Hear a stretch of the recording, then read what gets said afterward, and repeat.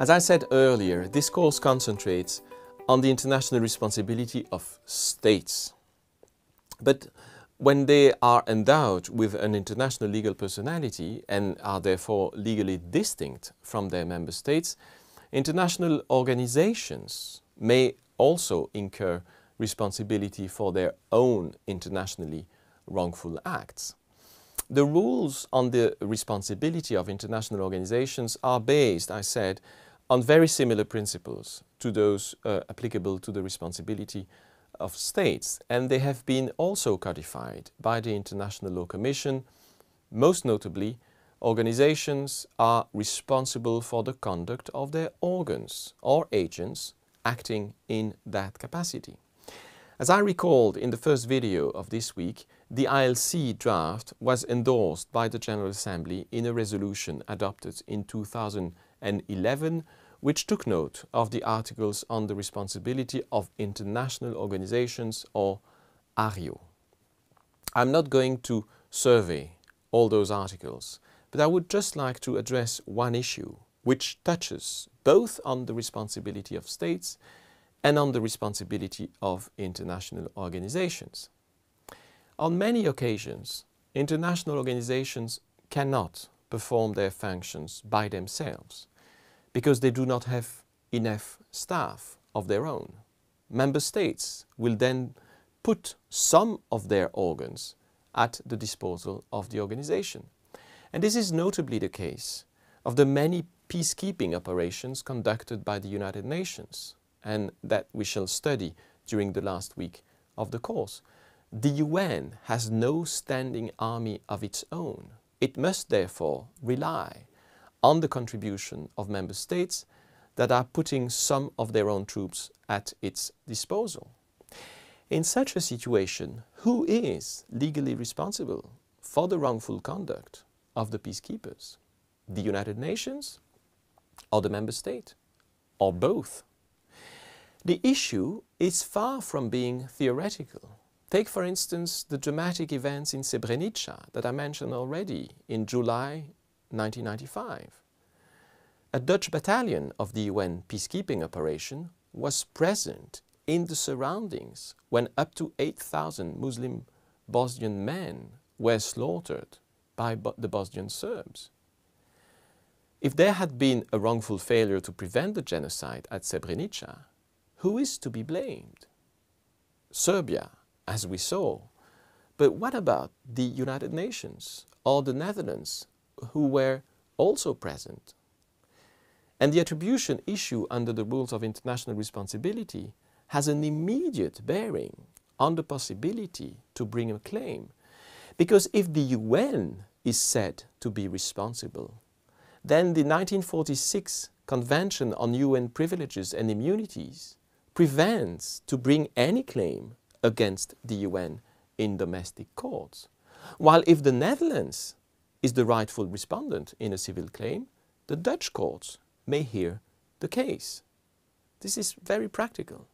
Another example, who is to bear responsibility between the UN, France, Germany or Norway for not having properly cleared unexploded ordnance on a hill in Kosovo where local children went to play and died because of an explosion?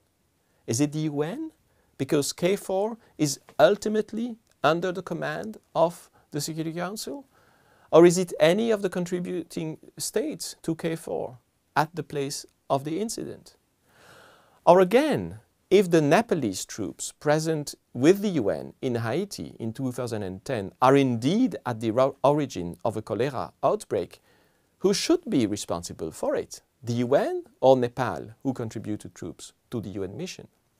It is important to clearly understand that the situation of state organs put at the disposal of an international organization is different from the situation of state organs that are fully integrated in the organization.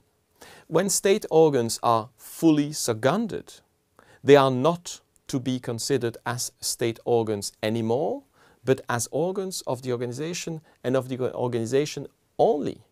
But this is rarely the case of peacekeeping troops. The soldiers from national contingents are still members of their national armed forces.